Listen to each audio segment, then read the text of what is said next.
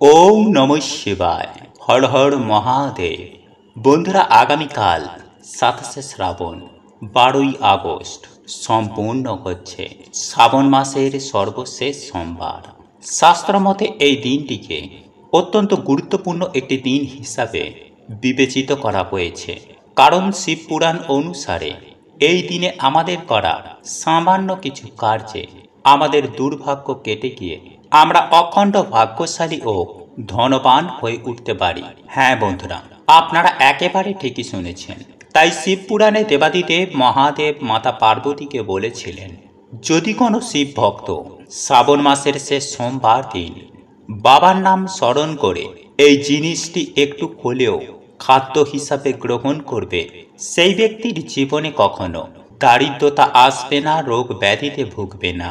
সেই সঙ্গে সঙ্গে এই দিন যদি কোনো ভক্ত সিঁদুরে সামান্য এই জিনিসটি মিশিয়ে দিতে পারে, সেই ভক্তের জীবনে, সেই ভক্তের জীবনেই সারা জীবন টাকার বৃষ্টি ঘটে। তাই আজ আমি আপনাদেরকে এই ভিডিওটির মাধ্যমে খুব সুন্দরভাবে জানিয়ে দেব যে শ্রাবণ মাসের শেষ সোমবার দিন আপনারা কোন কোন কাজগুলি করলে দেবাদিদেব মহাদেবের আশীর্বাদে আপনারা লক্ষ্মী লাভ করবেন, আপনাদের ধনবৃদ্ধি হবে। এক কথায় বলতে গেলে, আপনারা সর্বসুখের সুখী হবেন। সেই প্রসঙ্গে, বন্ধুরা, আমি সবার প্রথমেই আপনাদেরকে জানিয়ে রাখি যে আপনারা এই সমগ্র শ্রাবণ মাসে যে কোনো সোমবারে ব্রত করুন বা না করুন, তাতে কোনো অসুবিধা নেই। বা আপনারা যদি ষোলো সোমবারে ব্রত পালন করে থাকেন, তাহলে তাদের অবশ্যই শ্রাবণ মাসের এই শেষ সোমবার পালন অবশ্যই করা প্রয়োজন। কারণ এই দিন বাবার পুজো আরাধনায় এক বিশেষ ফল প্রাপ্তি হয়। তাই অগণিত লক্ষ লক্ষ কোটি কোটি ভক্তরা দৌড়ে যান বাবার কাছে, বাবার আশীর্বাদ নেওয়ার জন্য। তাই এই দিন দেবাদিদেব মহাদেবের আশীর্বাদ আমাদের প্রত্যেকের নিয়ে রাখা প্রয়োজন। বন্ধুরা, শিব পুরাণে উল্লেখ করা হয়েছে যে যদি কোনো ব্যক্তি শ্রাবণের কোনো সোমবার যদি পালন করতে নাও পারেন তাহলে কেবলমাত্র শ্রাবণ মাসের শেষ সোমবার দিন যদি পালন করতে সক্ষম হন, তাহলে তাতেও ভগবান শিবের কৃপায় তার নিশ্চিত রূপেই লক্ষ্মী লাভ হয় এবং মনোবাসনা পূর্ণ হয়। তবে শ্রাবণের এই শেষ সোমবার দিন শিবলিঙ্গে এই একটি জিনিস অবশ্যই অবশ্যই অর্পণ করতে হয়। তাই এই প্রসঙ্গে বিস্তারিত জানার আগে আপনাদের বলে রাখি, আপনি যদি আমাদের এই চ্যানেলে নতুন হয়ে থাকেন, তাহলে চ্যানেলটি অবশ্যই সাবস্ক্রাইব করুন এবং পাশে থাকা নোটিফিকেশান বেল আইকনটি ক্লিক করুন, কারণ আমি বিভিন্ন প্রকার তন্ত্র মন্ত্র বশীকরণ, টোটকা বাস্তু টিপস, জ্যোতিষশাস্ত্র, পুজো আরাধনা এবং ব্ল্যাক ম্যাজিক করা নিয়ে নিত্য নতুন ভিডিও আপলোড করে থাকি, যা প্রয়োগ করার মাধ্যমে আপনার জীবনে থাকা সকল প্রকার সমস্যার সমাধান হয়ে যাবে। চলুন, এইবার মূল আলোচনায় প্রবেশ করা যাক। তবে মূল আলোচনায় প্রবেশ করার আগে, ওম নম শিবায়। হর হর মহাদেব লিখে কমেন্ট অবশ্যই করবেন। বন্ধুরা, শিব পুরাণে রুদ্র সংহিতায় ভগবান শিবের উদ্দেশ্যে শ্রাবণের শেষ সোমবারের বিভিন্ন ধরনের অন্ন এবং শস্য দিয়ে শিব পূজার কথা বলা হয়েছে। বলা হয়েছে, শ্রাবণ মাসের শেষ সোমবার দিন ভগবান শিবের উদ্দেশ্যে অখণ্ড চাল অর্পণ করলে উপাসকের লক্ষ্মী লাভ হয়। বন্ধুরা, এই দিন যদি আপনারা আতপ চাল অর্পণ করতে পারেন, তাহলে সেটা সব থেকে ভালো। আর আতপ চাল যদি আপনারা না পান, তাহলে সেক্ষেত্রে যে কোনো প্রকার চাল এই দিন ভগবান শিবের উদ্দেশ্যে অর্পণ করতে পারেন। তবে মনে রাখবেন বন্ধুরা, এই চাল যেন অখণ্ড হয়, অর্থাৎ চাল যেন ভাঙা না হয়। সেই বিষয়টি অতি অবশ্যই খেয়াল রাখবেন। বন্ধুরা, এই দিন ভগবান শিবের উদ্দেশ্যে গোটা চাল অর্পণ করার কথা শাস্ত্রে উল্লেখ করা হয়েছে। বন্ধুরা, এই দিন যদি ভগবান শিবকে বস্ত্র অর্পণ করে তার ওপরে এই চাল রেখে সমর্পিত করলে তা আরও শুভ ফলদায়ক হয়। বন্ধুরা, এই আতপ চালের সঙ্গে সামান্য কালো তিল যদি অর্পণ করতে পারেন, তাহলে সমস্ত পাপ ক্ষয় হয় এবং শনিদোষ ও পিতৃদোষ থেকেও মুক্তি লাভ হয়। এছাড়াও বন্ধুরা, এই চালের সঙ্গে সামান্য জব মিশিয়ে এই দিন যদি ভগবান শিবের উদ্দেশ্যে নিবেদন করেন, তাহলে স্বর্গীয় সুখ বৃদ্ধি হয়। আর যদি গম মিশিয়ে তা যদি শিবলিঙ্গে অর্পণ করেন, তাহলে সন্তান সুখ হয়। এবং মুখ মিশিয়ে যদি ভগবান শিবের উদ্দেশ্যে এই চাল অর্পণ করেন, তাহলে ব্যক্তির সুখ এবং সমৃদ্ধির কখনো কমতি হয় না। তাই বন্ধুরা, আগামীকাল শ্রাবণের শেষ সোমবার দিন অবশ্যই পারলে বাবার উদ্দেশ্যে অখণ্ড চাল অর্পণ করুন এবং তার সঙ্গে আপনি বিভিন্ন শস্য অর্পণ করতে পারেন। তাহলে নিশ্চিত রূপেই দেবাদিদেব মহাদেবের আশীর্বাদে আপনার গৃহেই লক্ষ্যে স্থিত হবেই বন্ধুরা, ভগবান শিবের উদ্দেশ্যে এই চাল নিবেদন করার সঙ্গে সঙ্গে অসহায় মানুষের উদ্দেশ্যেও এই দিন কিছু না কিছু দান করুন। সম্ভব হলে তাদেরকে আপনারা ভোজন করান এবং আগামীকাল শ্রাবণের শেষ সোমবার দিনের পর, পরপর সাত দিন ভগবান শিবের উদ্দেশ্যে শিবলিঙ্গে পাঁচটি অখণ্ড চাল নিবেদন করবেন। বন্ধুরা, শিব পুরাণ অনুযায়ী এই বিষয়টি কিন্তু অবশ্যই করা প্রয়োজন। তবেই লক্ষ্মী লাভ হবার সঙ্গে সঙ্গে মা লক্ষ্মী গৃহে অচলা হয়ে বাড়িতে বিরাজ করবেন।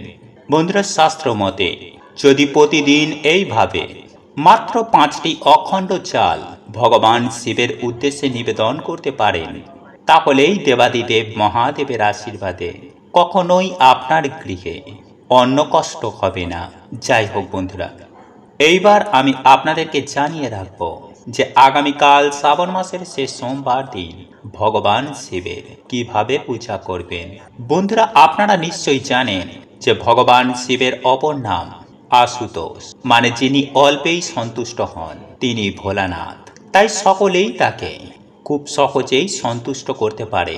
আড়ম্বর তথা লোক দেখানো নয়। দেবাদিদেব মহাদেবকে সন্তুষ্ট করতে গেলে যে বিষয়টি সব থেকে বেশি প্রয়োজন, সেটি হলো আপনার নিষ্ঠা, ভক্তি এবং বিশ্বাস। এই তিনটি বিষয় আপনার মধ্যে না থাকলে বাবার পুজো করে কোনো লাভ নেই। তাই যদি এই তিনটি বিষয় যদি আপনার মনের মধ্যে আনতে পারেন, তবেই এই দিন বাবা ভোলানাথের পূজা যথা বিধি বিধান মেনে সম্পূর্ণ করুন। তাহলে নিশ্চিত রূপেই আপনি যে উদ্দেশ্য নিয়ে বাবার পুজো করছেন, সেই উদ্দেশ্যে আপনি সফল হবেনই হবেন। বন্ধুরা, আমি সবার প্রথমে আপনাদেরকে জানিয়ে রাখি যে বাবার এই পূজা যে কেউ করতে পারেন এবং এই পূজা খুবই সহজ সরল। বন্ধুরা, শ্রাবণ সোমবারের এই পূজা আপনি যেমন বাবার যে কোনো মন্দিরে গিয়ে করতে পারেন, ঠিক তেমনই আপনি এই পূজা আপনি আপনার নিজের গৃহে বসেও করতে পারেন। তবে এই পূজা সম্পূর্ণ করার জন্য আপনার গৃহেতে একটি শিবলিঙ্গ থাকা আবশ্যক। শ্রাবণ মাসের শেষ সোমবারে বাবার পূজার জন্য যে সমস্ত উপকরণগুলির প্রয়োজন তা যৎ সামান্যই বন্ধুরা, শিব পূজার সর্বপ্রধান দুটি উপকরণ হল ফুল এবং বেলপাতা। ফুলের মধ্যেই ভগবান শিবের সব থেকে পছন্দের ফুল হল ধুতুরা চাঁপা। আকন্দ কলকে এবং নীল অপরাজিতা, যাকে আমরা নীল কণ্ঠ বলে থাকি। উক্ত পাঁচ প্রকার ফুলের মধ্যে আপনি যে কোনো এক প্রকার ফুল দিয়েই বাবার এই পূজা সম্পূর্ণ করতে পারেন। তবে একান্তই যদি এই পাঁচ প্রকার ফুলের মধ্যে কোনোটিও না পান তাহলে সেক্ষেত্রে লাল ফুল ভিন্ন। অন্য যে কোনো প্রকার ফুল দিয়ে বাবার পূজা সম্পূর্ণ করা যায়।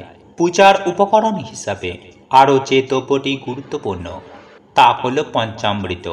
অর্থাৎ দুধ, দই, ঘি, মধু, চিনি বা গুড় এবং এরই সঙ্গে যে বিষয়টি প্রয়োজন, তা হলো গঙ্গা জল। আর যদি গঙ্গা জল না থাকে, তাহলে সেক্ষেত্রে আপনি যে কোনো প্রকার বিশুদ্ধ জল, যেমন ধরুন ডাবের জল বা নারকেলের জল, বা অন্য যে কোনো প্রকার বিশুদ্ধ জল আপনি ব্যবহার করতে পারেন। এই কয়েকটি প্রধান দ্রব্য ছাড়া পূজায় প্রয়োজন সাদা চন্দন, একটুখানি আতপ চাল যে কোনো এক প্রকার, গোটা ফল, সামান্য নৈবেদ্য, অর্থাৎ ভোগের দ্রব্য। এই নৈবেদ্যর ক্ষেত্রে অন্তত পক্ষে একটি বাতাসাও দিতে পারেন এবং সর্বশেষ ধূপ দ্বীপ এবং একটি কাঁচা টাকা, অর্থাৎ একটি এক টাকার কয়েন এইবার আসব বন্ধুরা, এই দিনের শিব পূজা প্রক্রিয়া সম্পর্কে। বন্ধুরা, এই দিন আপনারা যে উদ্দেশ্য নিয়ে বা যে মনের ইচ্ছা নিয়ে আপনি এই দিন দেবাদিদেব মহাদেবের পুজো করছেন, সেই উদ্দেশ্য বা মনের ইচ্ছা বিষয়ে সম্পূর্ণ কিন্তু প্রথমেই পরিষ্কার থাকা প্রয়োজন। কারণ মনের ইচ্ছা বা উদ্দেশ্য যদি স্পষ্ট না হয়, তাহলে শত প্রার্থনা করেও তার ফল লাভ হয় না। তাই মনের ইচ্ছা বা উদ্দেশ্যটিকে প্রথমে স্পষ্ট করুন। বন্ধুরা, এই দিন বাবার এই পূজা সম্পূর্ণ উপবাস রেখেও করতে পারেন আবার ফল, দুধ, সাবু ইত্যাদি খেয়েও আপনারা এই ব্রত করতে পারেন। তবে পুজো করার আগের দিন যে আহারটি সম্পূর্ণ করছেন, অর্থাৎ সর্বশেষ খাবারটি এবং পুজো সম্পূর্ণ করার পর প্রথম যে খাবারটি খাচ্ছেন, সেটি যেন সম্পূর্ণ নিরামিষ হয়। যদি সম্ভব হয়, এই দিন সাত্বিক আহার গ্রহণ করুন। আর হ্যাঁ এই দিন কোনো অবস্থাতেই কোনো নেশা জাতীয় দ্রব্য ভুলেও গ্রহণ করবেন না। বন্ধুরা, পূজার দিন, ব্রহ্ম মুহূর্তে, অর্থাৎ ভোরের বেলায় ঘুম থেকে উঠুন এবং বিছানায় বসে মনে মনে সংকল্প করুন যে আপনি আপনার মনের ইচ্ছা পূরণের উদ্দেশ্যে এই ব্রতটি আজ সম্পূর্ণ করার চেষ্টা করবেন। বাবার কাছে প্রার্থনা করুন যেন তিনি আপনাকে সেই শক্তি প্রদান করে। এরপর বন্ধুরা, স্নান পর্ব সেরে শুদ্ধ বস্ত্র পরিধান করে পুজোর উপকরণগুলি সংগ্রহ করে নিন। বন্ধুরা, এই দিনের শিব পূজা সর্বদাই সন্ধ্যাবেলায় সম্পূর্ণ করা প্রয়োজন। তবে একান্তই সমস্যা হলে আপনি দিনের বেলায় সকালের মধ্যেই এই পূজা সম্পূর্ণ করতে পারেন। বন্ধুরা, শিব পূজা সর্বদাই উত্তর মুখে বসে করবেন এবং শিবলিঙ্গকেও উত্তরমুখী করে রাখবেন। কারণ উত্তর দিককে বলা হয় ব্রহ্মলোক পথ আর এই পরম ব্রহ্মময় শিবের পূজা, তাই সদা সর্বদাই। উত্তর দিকে বসে করাই নিয়ম।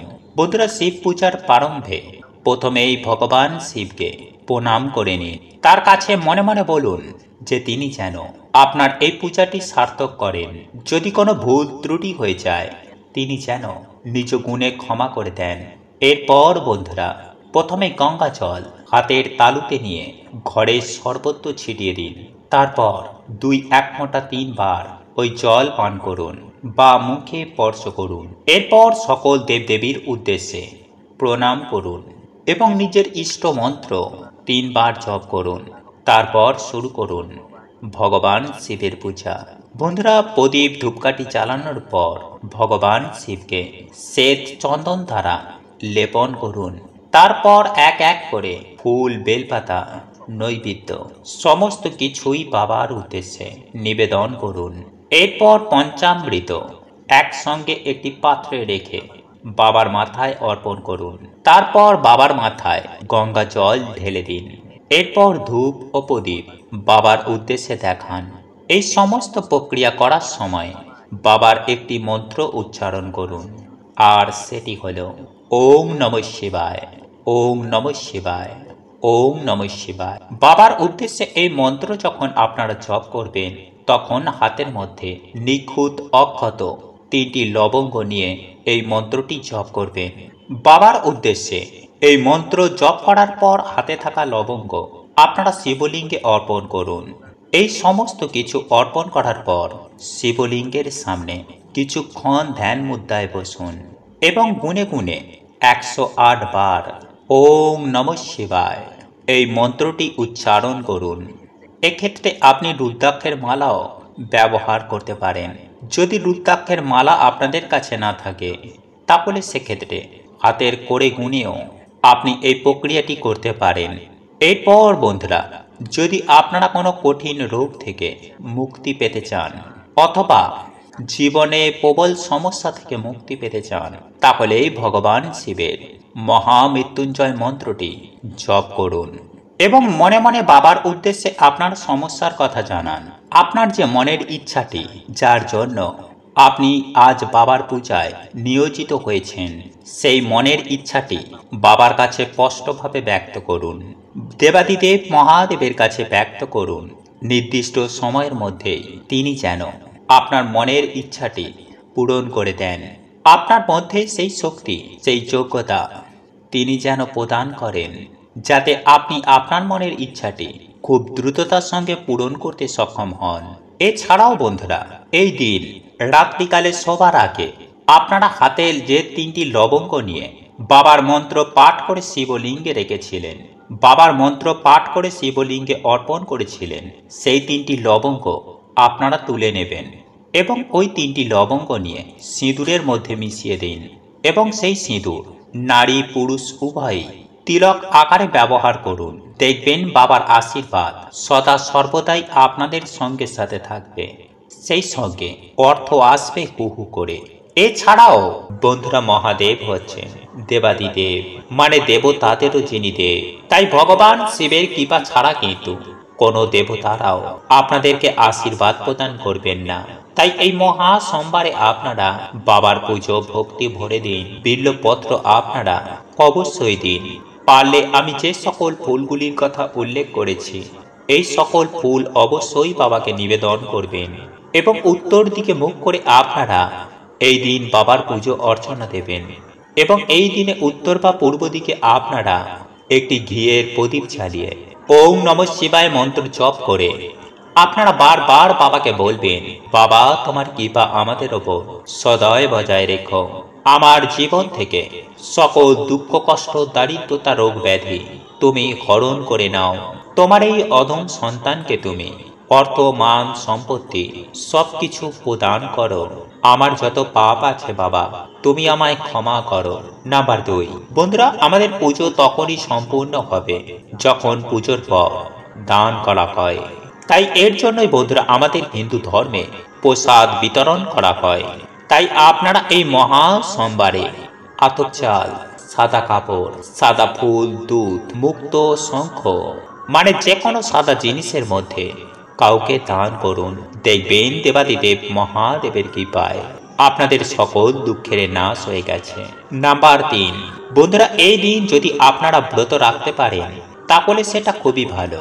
তাই আপনারা এই দিনে রাতের বেলায় ভগবান দেবাদিদেব মহাদেবের নাম নিয়ে আতপ চাল, মুগ ডাল, আলু, ঘি, এছাড়াও বিভিন্ন রকম সবজি দিয়ে আপনারা একটি ভগবানের ভোগের মতন একটি প্রসাদ রান্না করবেন এবং সেই প্রসাদটি আপনারা তামা অথবা পেতলের পাত্রে রান্না করবেন এবং তারপর সেই প্রসাদ আপনারা ভগবান শিবকে স্মরণ করে মা অন্নপূর্ণাকে প্রণাম করে তারপর সকলে মিলে গ্রহণ করুন। তবে বন্ধুরা, এক্ষেত্রে আপনাদেরকে কিছু সতর্কতা অবলম্বন করতে হবে। যেমন আপনারা তামা বা পেতলের বাসনপত্র ছাড়া আর কোনো ধাতব বাসনপত্র ব্যবহার করতে পারবেন না। আপনারা চাইলে মাটির পাত্রে ব্যবহার করতে পারেন। নতুবা আঙট কলা পাতার ব্যবহার করবেন। আঙট কলা পাতা বলতে কলা গাছের যে পাতা তার ডগার দিকটাকে আঙট কলা পাতা বলা হয়। এই কলা পাতায় আপনারা প্রসাদ গ্রহণ করতে পারেন। এছাড়াও এই রন্ধন কার্যে আপনারা সামুদ্রিক লবণের ব্যবহার করতে পারবেন না। সামুদ্রিক লবণের পরিবর্তে আপনারা সৈন্ধব লবণ ব্যবহার করবেন। এছাড়াও তেলের পরিবর্তে এক্ষেত্রে আপনাদেরকে ঘিয়ের ব্যবহার করতে হবে। এছাড়াও এই দিন মদ, মাংস, পেঁয়াজ, রসুন মানে কোনো রকমের আমিষ জাতীয় খাবার, একদমই খাবেন না। বন্ধুরা, যদি আপনারা এই দিন দেবাদিদেব মহাদেবের আশীর্বাদ পেতে চান, তাহলে এই বিষয়গুলি মেনে চলবেন। এছাড়াও এই দিন সামান্য হলেও শ্রীফল মানে যাকে আপনারা নারকেল বলেন, এই ফল আপনারা এই দিন গ্রহণ করুন। তাহলে বন্ধুরা, এর ফলে মানুষের আর্থিক ভাগ্য খুলে যায়। নাম্বার চার এরপর মন্ত্র আপনারা রাতের বেলায় ঘুমানোর আগে যে মন্ত্রটি বলে আপনারা ঘুমাবেন, তা হচ্ছে, ওম হ্লিং হ্লিং ক্লিং নম শিবায়। বন্ধুরা, এই মন্ত্রটি আপনারা এগারো বার নতুবা একুশ বার অন্ততপক্ষে জপ করবেন এবং জপ করার সময় যেন বন্ধুরা আপনাদের হৃদয় মহাদেবের জন্য ভক্তি থাকে। তাহলেই বন্ধুরা আপনারা জীবনে দেখবেন দেবাদিদেব মহাদেবের কৃপায় সকল দুর্ভাগ্য দারিদ্রতার এবং সকল বাধা বিপত্তির কেমন নাশ হয়ে গেছে।